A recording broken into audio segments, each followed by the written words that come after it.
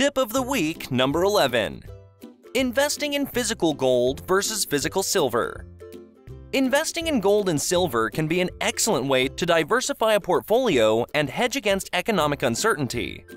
Both gold and silver are popular investments and have been used as a store of value for thousands of years. There are a lot of articles on this subject. The factors that affect the prices of gold and silver, like other commodities, oil, inflation rate, US dollar, interest rate, the stock market, geopolitical situation, etc., are all very well known. There are options of owning gold and silver by physical, ETFs, stocks, tokens backed by physical metal, T gold and T silver, etc. Let's focus today on physical gold and silver investment. This table gives a short comparison of a few important characteristics of physical gold and silver bullions.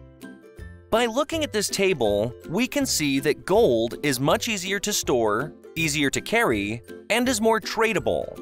Whereas silver is more affordable, its price is also more volatile, making gold the smarter investment.